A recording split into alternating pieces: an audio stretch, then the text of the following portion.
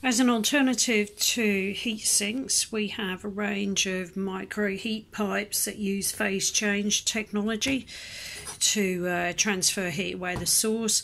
They've got a groove and wick structure with acetate as the working fluid, and you place one end of the heat pipe on the uh, heat source, and then the other end uh, maybe against the chassis or the enclosure. And when the um, uh, when the liquid heats up, it transfers all the way along the pipe uh, to the other end, uh, cooling down the source.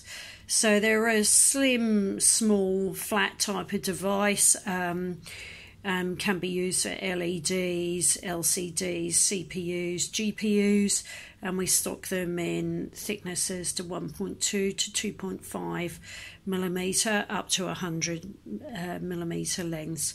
You can see our website stopvibration.com.au.